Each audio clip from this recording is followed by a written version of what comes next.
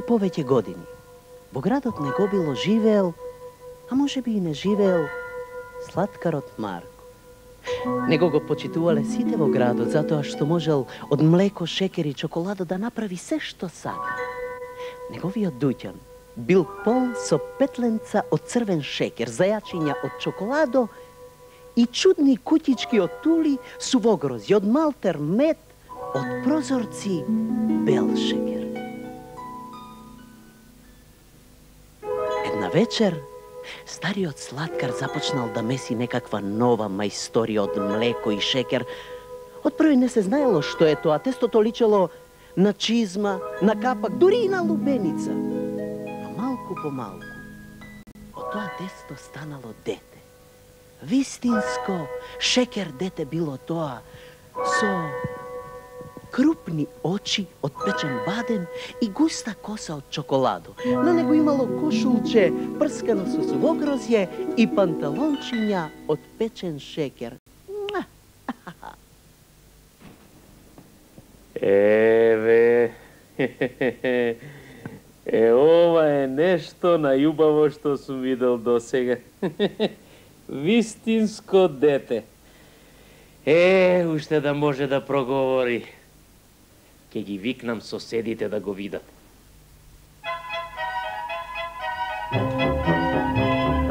Луге, пријатели, соседи мили, имам дете, имам дете, ама луѓе, станувајте!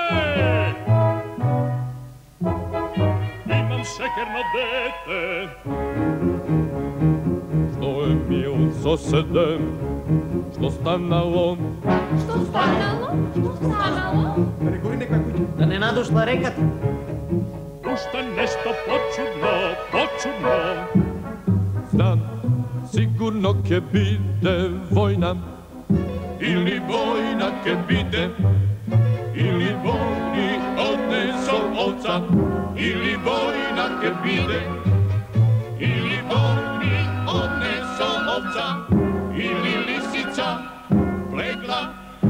Ото кошарникот. Не, не, уште, почудно, почудно. Знам, сигурно ќе биде војна. Или војна ќе биде, или лисица легла. Ото кошарникот. Уште, почудно, почудно. Па соседе почитуван, зошто не разбуди? Логе, пријатели, соседи мили, јас имам дете од.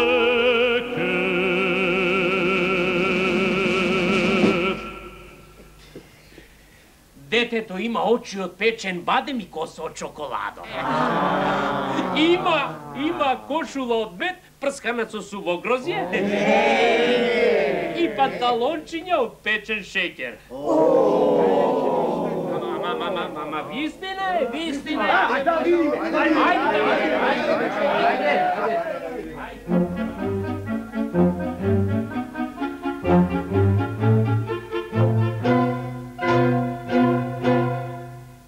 Кај е детето од шекер со очи од печени бадеми коса од чоколадо, а? Овде, овде беше, а сега го нема каде.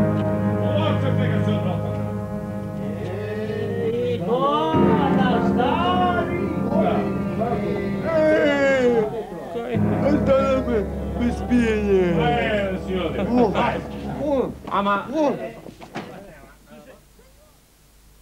А еве што станало.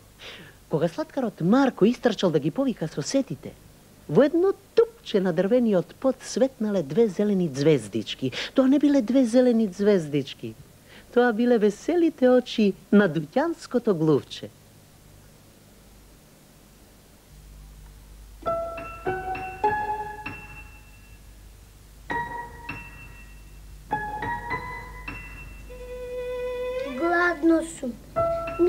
Јаде нешто сладко. Петлинца во веќе не ми се сладки. Јади, јади, а од едно крилце не можеш да изедеш повеќе за една ноќ. Што мисли мајстрот? Јас се листо ќе вечерам кукички, кукички. Ене, од првата кукичка одам на вратата ја изгрискав. Од втората го начнав зидот. Од третата Оджакот му го однесов како подарок на почитуваниот старец. Знаете ли зошто? Па за неговиот десети роден ден. Оф.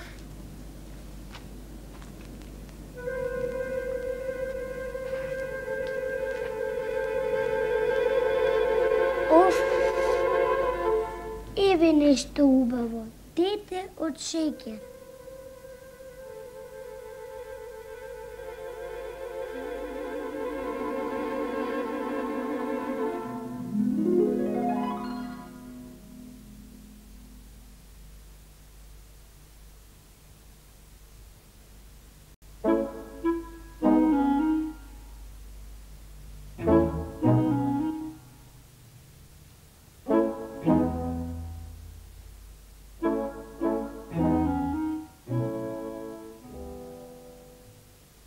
Од градот не го било, до шумата во која некогаш сите пееле патот е долг, дури и предолг. Ако чекориш полека, нема никогаш да стасаш. Ако трчаш, ќе се замориш и пак нема никогаш да стасаш. Ајде, како започнувал денот во шумата во која некогаш сите пееле.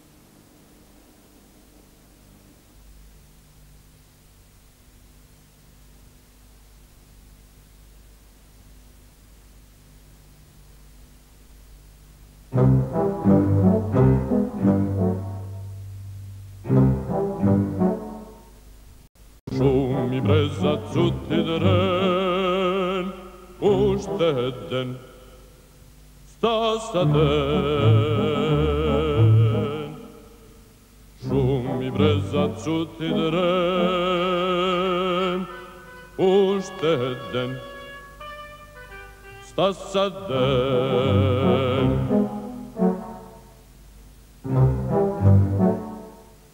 Сонце гре, сјае здрав. Шум и бреза цути дрен, уште еден, Дојде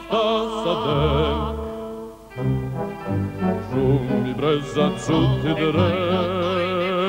Stas adem, stas adem,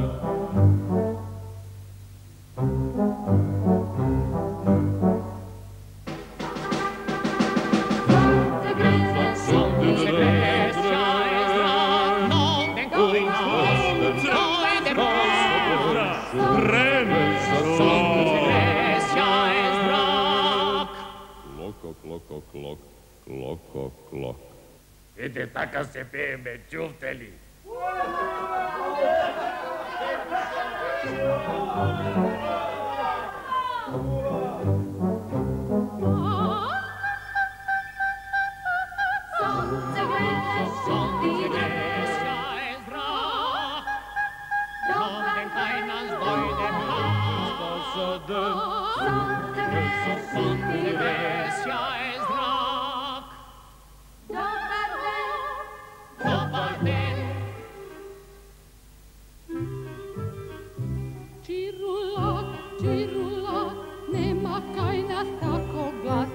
Nikoj drug, nikoj osven,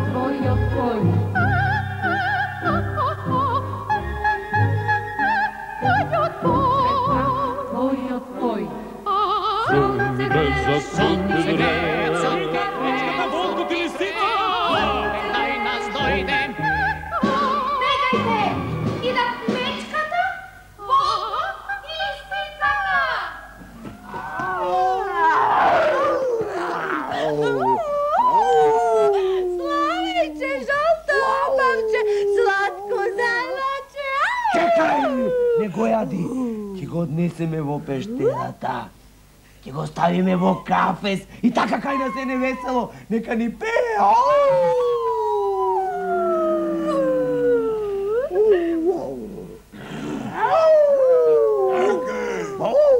Јас како цар на арамите наредувам да се однесе во пештерата. Таму нека седи и нека ни пее.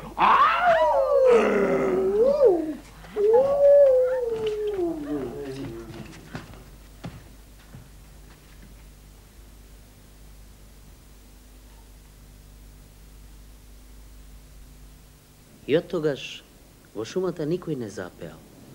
Па дури ни буковата пенушка веќе не се пофалила дека знае да пее. И во оваа шума еден ден стасало шекерното дете.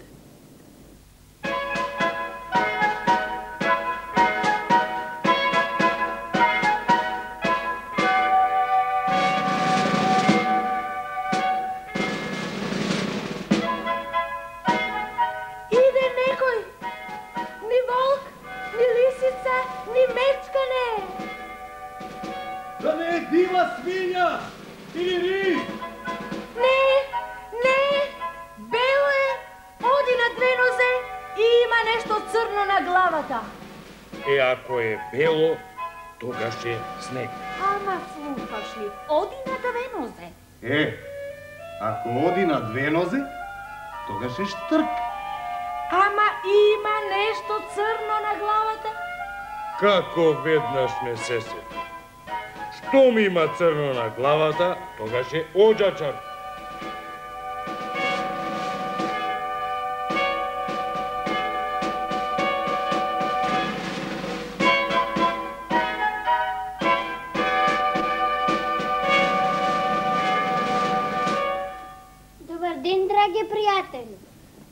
За нас нема добар ден. Живееме со страв. Живееме со страв. Живееме со страв. Мечката, волкот и лисицата ни го украдоа славеот и можат пак да ни дојдат. И можат пак да ни дојдат. Можат пак да ни дојдат. Па, па, па, па, па да, мо- можат пак да дојдат. Помогни ни ти. Помогни ни. Би ви помогнал само како. Како? Како? Па како дека? Како, како? Дојди ваму.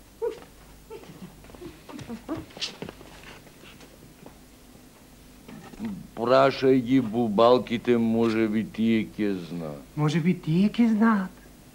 И ако знаат бубалките како да го ослободам славеот, јас ќе го ослободам. Па, па, по, појди, ослободи. Оди. Ослободи го.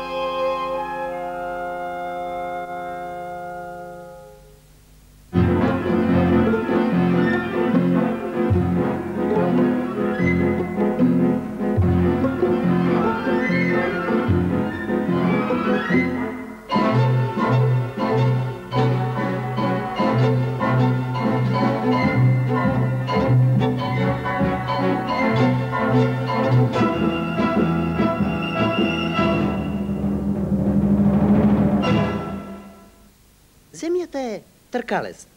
Каде и да појдеш, пак таму ќе дојдеш. И така одејќи, шекерното дете се вратило во Негобило, најголемиот мал град на светот.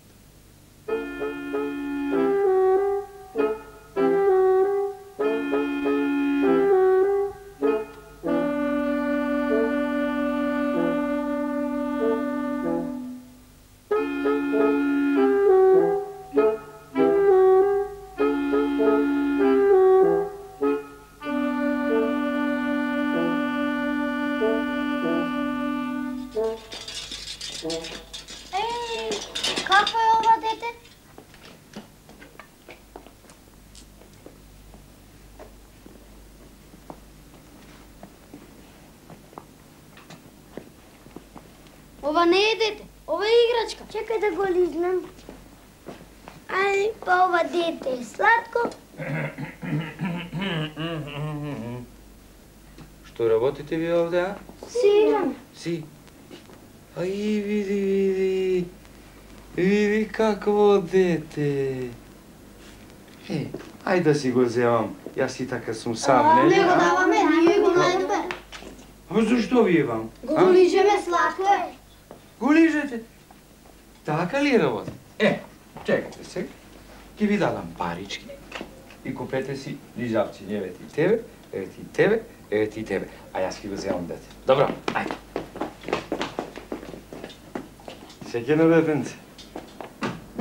Сакаш да те земам кај мене? Сакаш, сакаш, нели? Ајде дај ми го рацето, да те однесам долу. Така, убаво. Така. Чичко, дај ми петленце од шекер, врапче од мед, зајаче од чоколада. О, дечиња, денес татко ви бил многу дарежлив, а? Парите не ни ги даде татко ми, туку колор од 12 за шекерното дете. А? Дете од шеќер? Од шекер, И, има очи од печен бадем? од бадем, И коса од чоколадо? од чоколадо. Па, па, па, тоа е моето дете, моето шеќерно дете.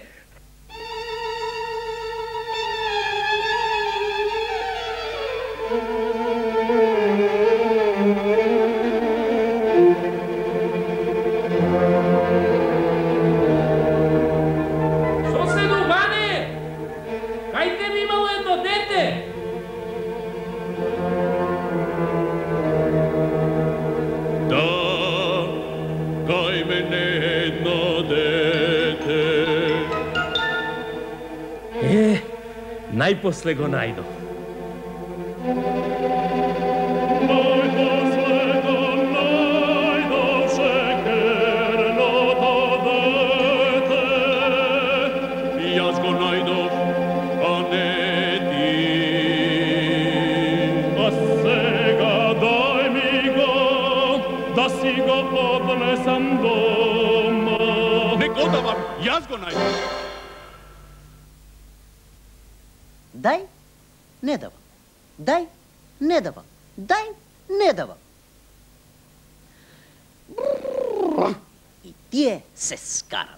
Тоа било првата караница во градот, не го било караницата дошла и пред суд.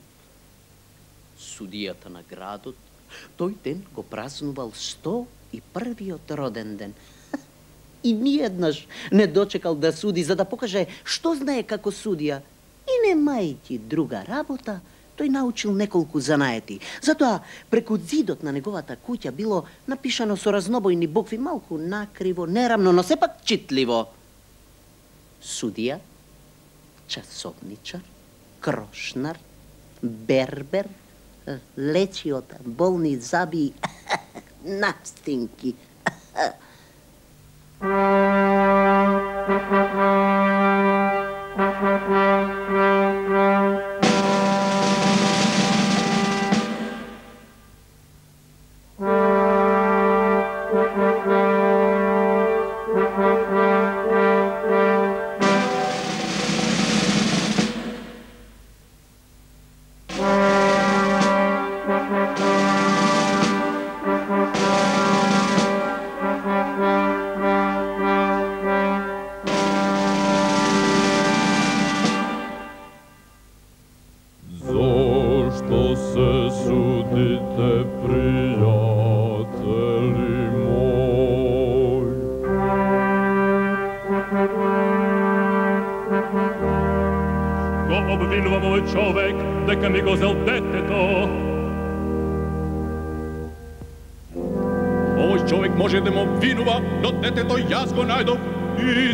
Сега е мое. Така е, детето е твое, ти си го нашол, а не сладкарот Марко. Ама тоа дете е од шекер, овој човек е кола, дрводелец. И според тоа детето треба да е од дрво па да биде негово. Така е, твое, зашто е од шекер. Ама тоа дете кај мене, не кај него. Што ме кај тебе, нека биде твое. Како може да биде негово? Јас тоа дете го направив од шекер, со коса од чоколадо и очи од печен бадем. Така е, детето е твое. Тешко е честит судија да се пресудим. Тешко е, Затоа да го повикаме шекерното дете и да го прашаме кај кого сака да живе. така ке направиме. Оди повикај го.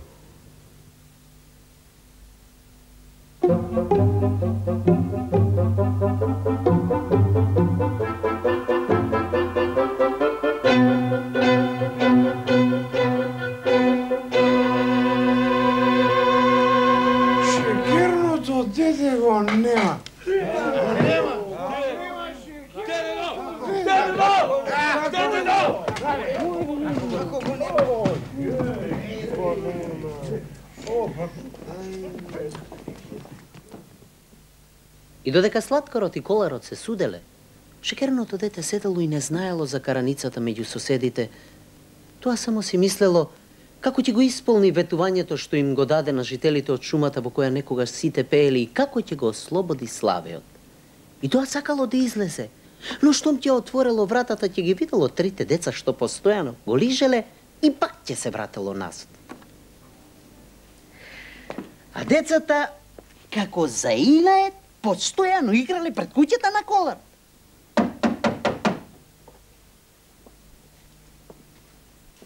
Има ли некој во оваа куќа? Добар ден. Можам ли малку да се одморам овде? Кој си ти, чичко? Јас сум црната шубара човекот кој девет пати минал околу светот.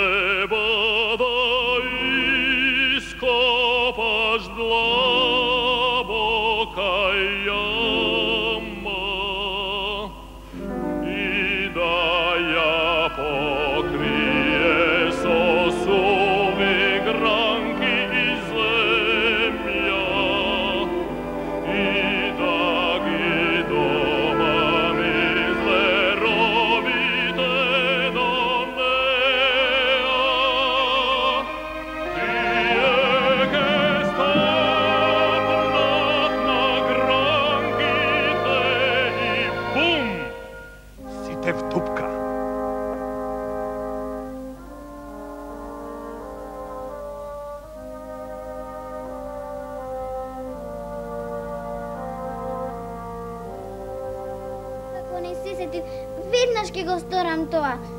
Само како да излезам од овде, децата да трчаат по мене и ме лижат. Па и тоа е лесно. Јас ќе те ставам под фото и ќе те изнесам.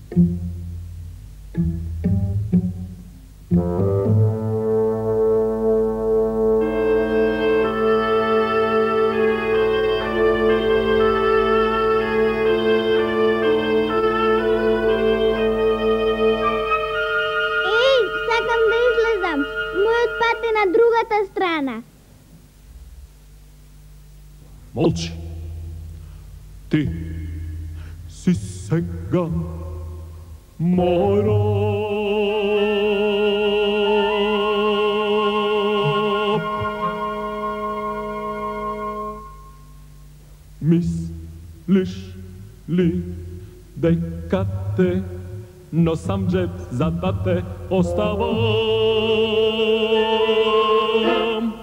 Ако писнеш, ушите ќе ти ги истргам.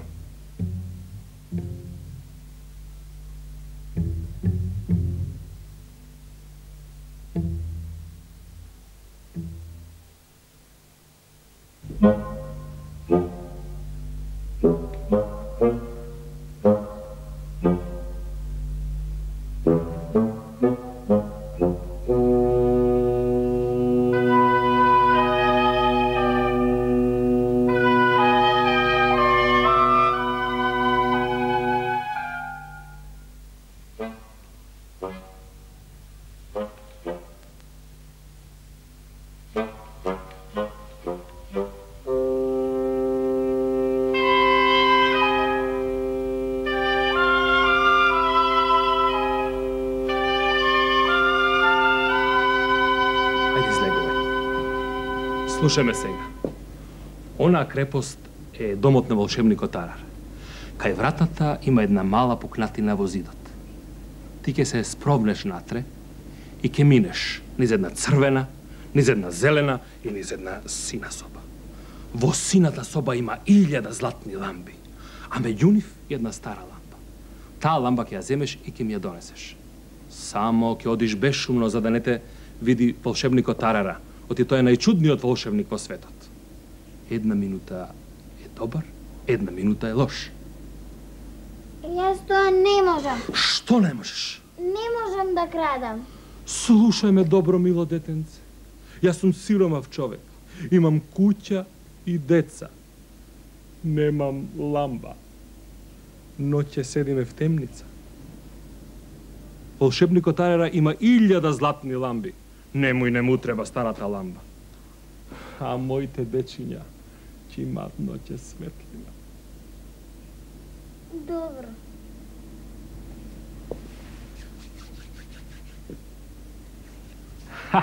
Еј!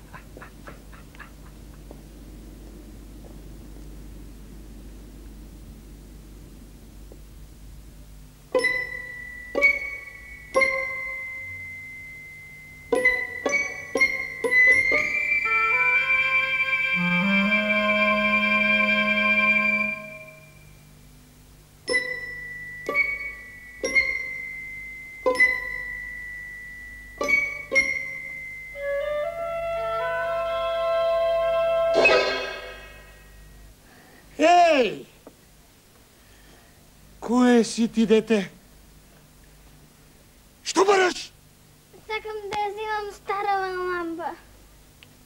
А, знаеш ли ти дека мојата волшебна сила е токму во таа лампа? Не знам, црна шубара ништо не ми кажа.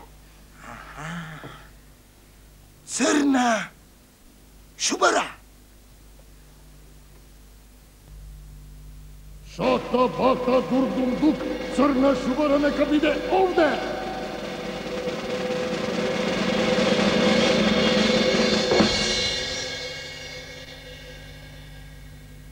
Vidio ramio kamen, ne, tumur, ne, mraz!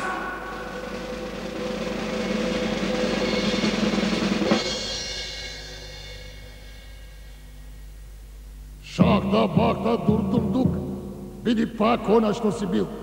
Што си бил, човек.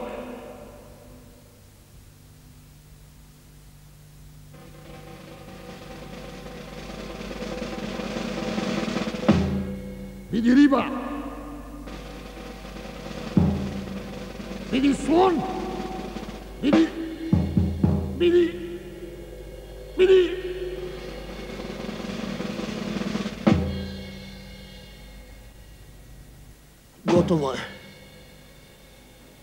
Волшебната ламба се скрши. Мојата волшебна сила си отиде. Дојдов овде од градот, не најдам, а сега морам да одам во градот. Не, не, не, не, не, не, не, бра! А јас сио свој живот сонував да украдам старата ламба. Сега не ми останува друго, туку и јас да појдам некаде. Пошел и тој. Шекерното дете останало само. И како било слободно, пошло по трета врвица за да ја бара шумата во која некогаш сите пееле и да го ослободи Славео. Минале многу денови. На дрвјата созреале јаболката. Што се зрели. На највисоката топола пожолтеа девет лисија. Штрковите, збунето погледнуваа кон далечните планински магли. Но сонцето уште греело, љубопитни очекувајќи да го види ослободувањето на Славео. Еден таков ден, шекерното дете повтор пат стасало во шумата во која некогаш сите пееле.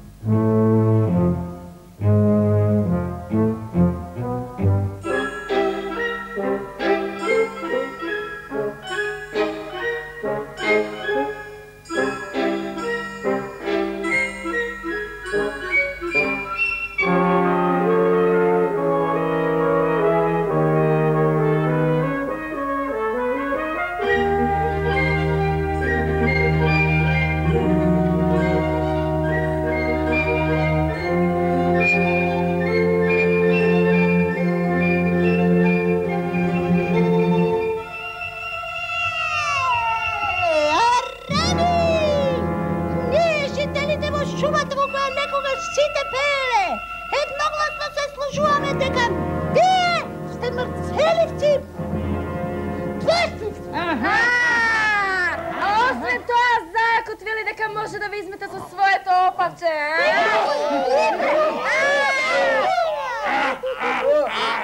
Епа, е, е, е, епа, да им слеземе долу и така ми се јаде сладок плод. Ау! А неке е лошо да се најде и барбливиот заје! Рами, еци, ќе ви го почешам грба! Нели да ни го почешаш зема, бе! Ти заје поеде! На, на мречката ќе ги искувам очите! Колкоти на лицицата ќе опачките ќе...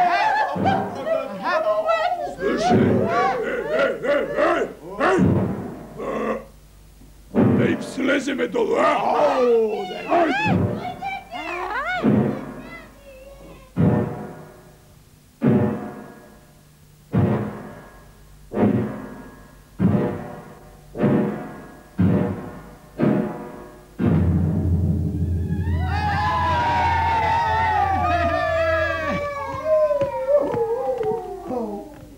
Kade sme?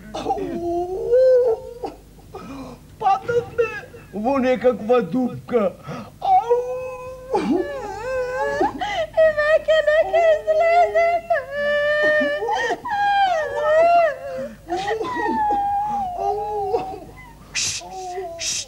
Три, четири. А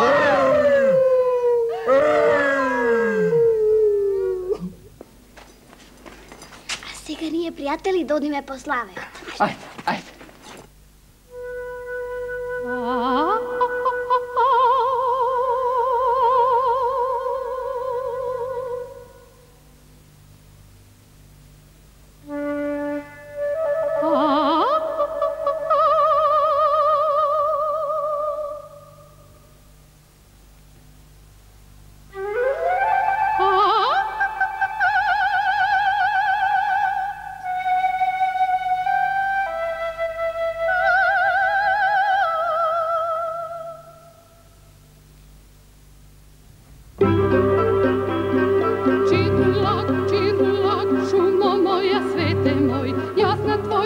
den Prag bei ihrem Tag.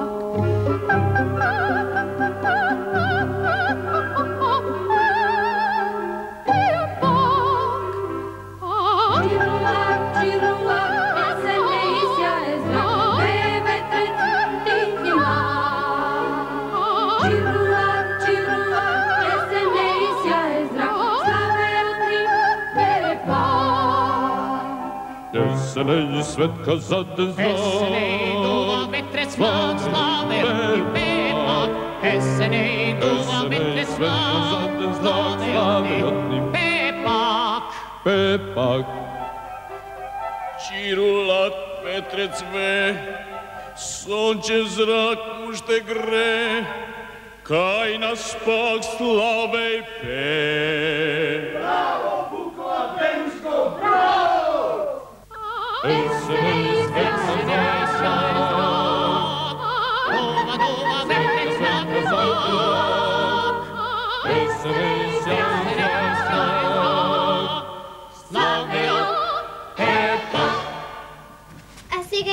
Вратам во градот Негобило. Остани со нас, Остани со нас. О, па јас не сум сам, ме чека мене колар отваре, А секако на мене мисли сладкарот малку. Он дедниот ге научам дрводелски санач, а од другиот сладкарски. В година напролет ќе ви дојдам на гости и ќе ви донесам полна кола подароци. Догледање! Догледање!